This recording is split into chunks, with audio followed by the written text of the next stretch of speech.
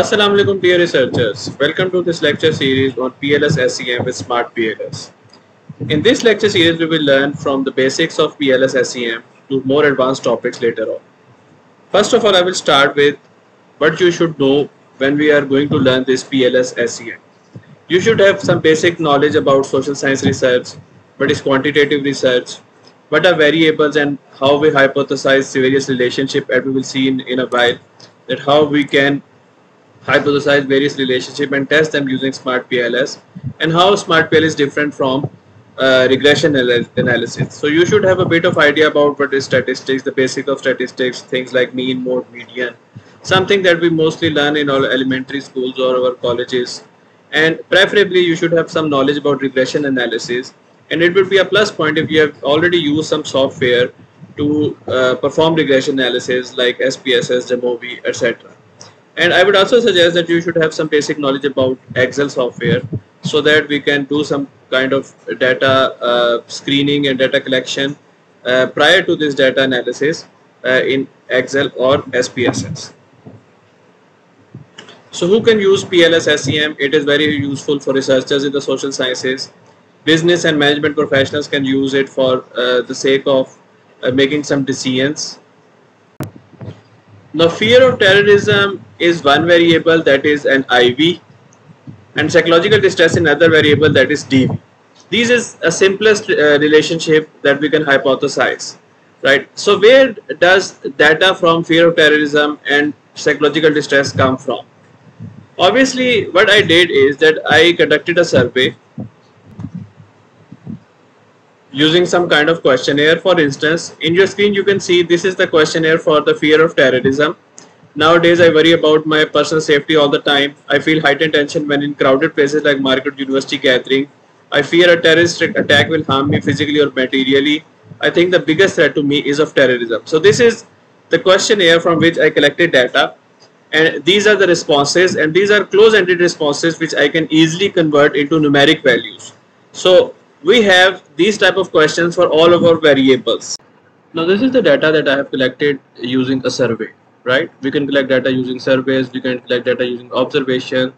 Now the major point is that data should be in the form of a quantitative data. It should be in the form of numbers. So as you can see, we have uh, some numeric data or if the data is not numeric, actually I have converted into numeric. For example, if you have different options, like strongly disagree to strongly agree you can convert them into number. That is called process of coding. So I have various variables. Uh, the questions in this survey represent various variables. Like fear of terrorism it is four, it is represented by four questions. The negative effect positive effect. Then I have instrumental support. Let me zoom in. Right? So psychological distress that is my main DV dependent variable, emotional support. So I have, I have various variables and in this tutorial I'm going to show relationship between these various variables. This basic hypothesis that fear of terrorism is positively related to psychological distress. And I've shown you that this data that is of actually 121 respondents, this data is which I'm going to analyze this hypothesis upon, right? So this is something that we can do in regression analysis as well. For example, psychological distress is equals to beta naught plus beta 1 fear of terrorism plus error term. But if I complicate this hypothesis a little bit and add another hypothesis, like complicate this model with one IV and two DVs. Okay, this is again pretty straightforward. Fear of terrorism relates to psychological distress, negative effect relates to psychological distress. Okay, let's make it a bit more complex and add a mediation hypothesis such that I say that fear of terrorism directly relates to psychological distress but fear of terrorism uh, also uh, relates to psychological distress through negative effect such that it first affect, increases the negative effect and then negative effect in turn increases psychological distress. Mediator is a variable which comes in between IV and DV to explain the relationship more clearly. So here we have hypothesized that there is a direct relationship. This path over here you can see is the direct path and then we have an indirect relationship between fear of terrorism and psychological distress through negative effect. Okay, what about moderator? We can also say that fear of terrorism and psychological distress, the relationship is moderated by emotional support such that if there is more emotional support then we have a weak relationship and if we have less emotional support then we have a strong relationship.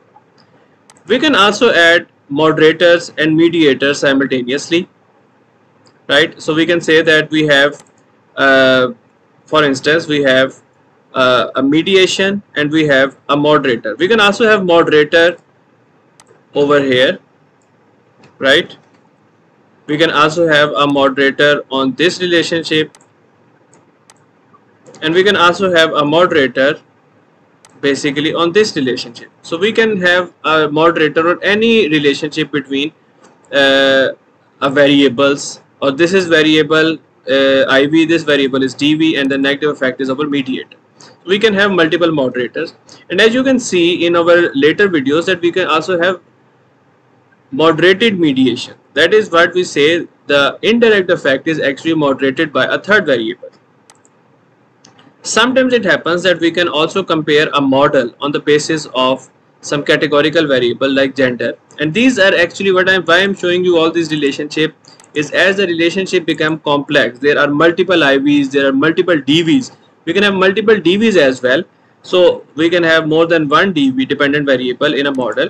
It becomes very easy and straightforward to evaluate these type of complex models using a structure equation modeling because in essence a structure equation modeling which is actually a second generation techniques enable researchers to analyze relationship between multiple variables simultaneously it is an extension of multiple linear regression because we can also evaluate some of these relationships like uh, IV-DV relationship or moderate relationship using SPSS and we can also evaluate the moderation and mediation using process macro in SPSS.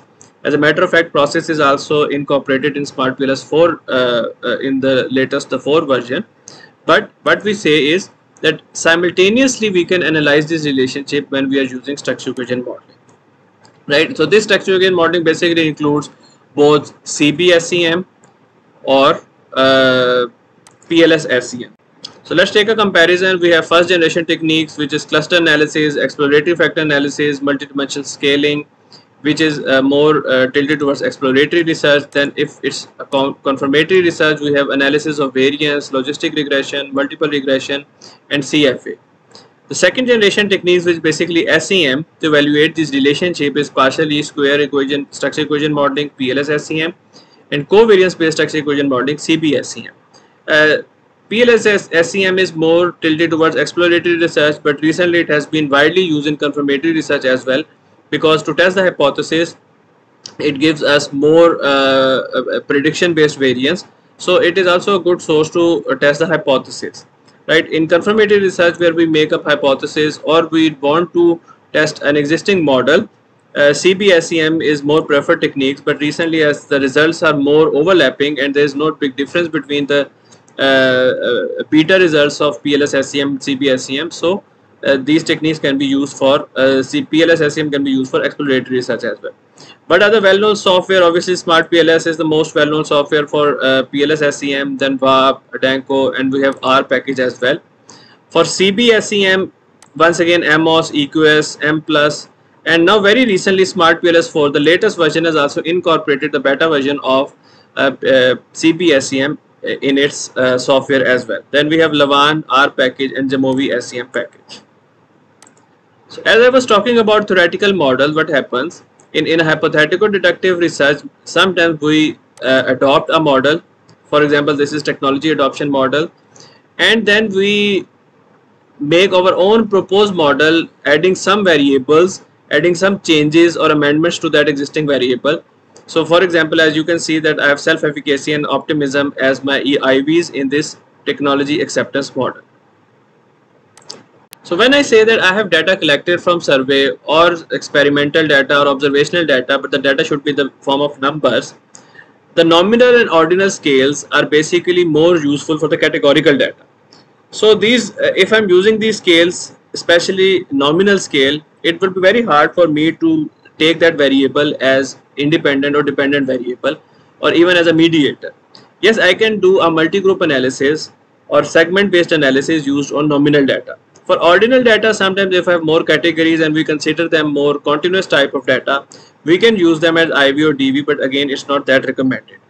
One special type of ordinal variable that we can also consider an interval variable and it's more widely used is the Likert scale or the Likert type questions that we can actually consider them as interval or more ordered uh, scales so that uh, we use it as a continuous or metric data. So what are the prerequisites if we want to use a Likert scale or a Likert type scale as an interval data or a metric or continuous data? The main points that we need to remember is that one, it should be equidistance, considered as equidistance. For example, I would say that the distance between categories 1 and 2 that is strongly disagree and uh, strong is disagree is same as between categories 3 and 4 same as categories 4 and 5 so i am actually saying is that a step ahead from strongly disagree to disagree is same as a step ahead from disagree to neutral. Number one. Number two is that scale should be symmetric. For example the neutral is a midpoint and then we have two options uh, positively and two options negatively that is behind the neutral point. So interval scale. If we have other uh, uh, variables for interval scale like centigrade scale which is not actually zero but we have some kind of uh, a number that is continuously increasing for 1 point 2 point 3 point then we can use them as IVs and DVs in smart PLS. For ratio scales, we have something that is a, a zero, uh, like actual zero number, uh, like money spent on purchasing new products, your age or something like that, or a number of failures, number of success that can have zero as a meaningful value and that can have more numbers that can be used as IV and DV. So when I'm making those measurements, uh, the important thing to remember is that there are some type of constructs. Actually, smart PLS or PLS SEM actually considers that we uh, identify relationship between the latent constructs. What are latent constructs? Latent constructs are those constructs which cannot be directly measured or we also call them unobservable variables. On the other hand, these latent constructs are measured through some means of measurement that we have defined. For example, in the survey, we have various questions to measure those latent constructs. So if you have a latent construct of a life satisfaction, this will be measured by these five questions. Now these five questions are also called indicators, items, manifest variables or observed variables. Mostly we use the term indicators when we are talking about SEM. And these are the variables on which we apply the measurement model we also call them variable. Like this question is variable number one variable number two variable number three. But what type of variable? These are observed variables. And these variables formulate a latent construct or unobserved variable. So how does these observed variables are converted to latent constructs?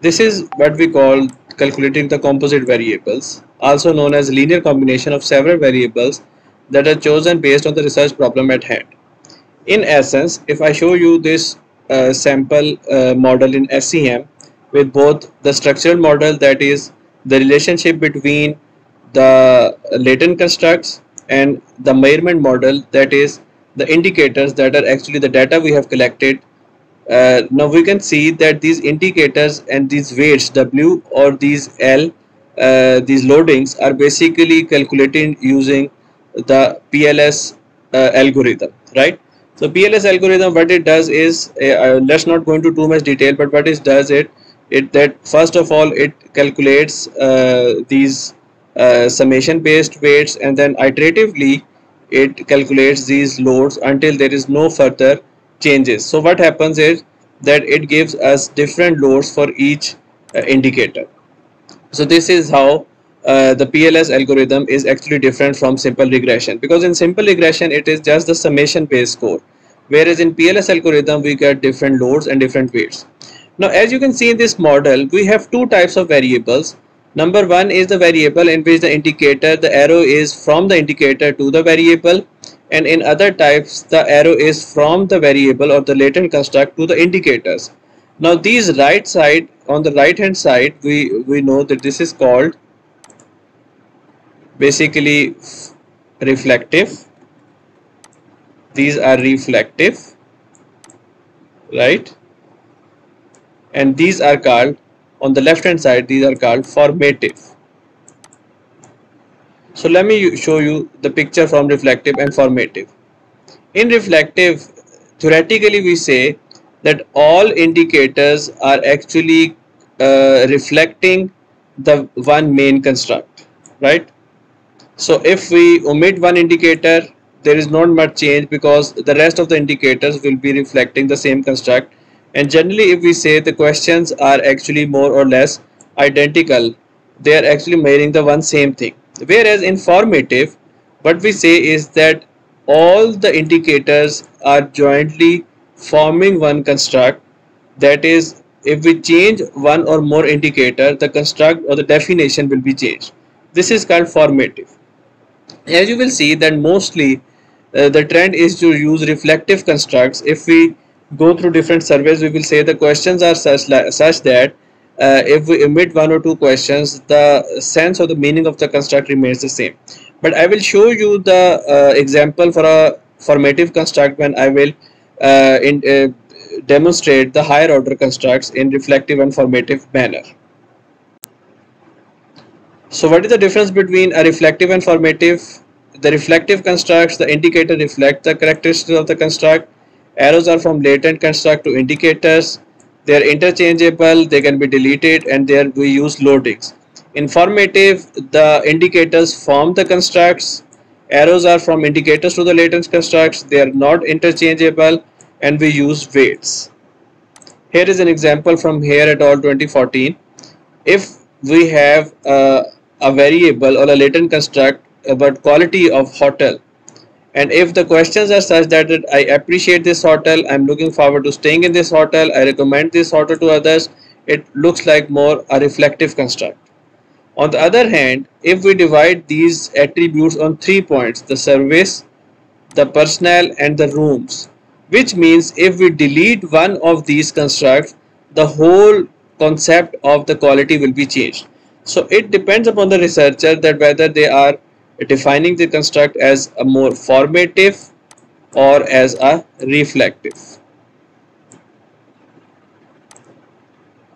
So once again if we see this path model and let's make some understanding that we have some internal uh, model inner model which we call the structure model and then we have the outer model which we call the measurement model these are actually the questions that are collected through some means and are quantitative in nature. So what we do is that we basically first evaluate the measurement model and then we move to the structural model. This is a two-step procedure in SEM. Two-step procedure. Okay, some terms to remember. Measurement model, which is outer model, it can be formative, it can be reflective, it can be mixed formative and reflective. Then we have structural model which is based upon some structural theory, some hypotheses are developed or why and in which directions variables are related, how they related, do we have some mediator, do we have some moderator, etc. Then we call in SEM the exogenous variables are those independent variables where endogenous variables are the dependent or mediator variables or those variables to which some type of arrow is coming towards right some like they are not independent they are dependent upon some other variable in the model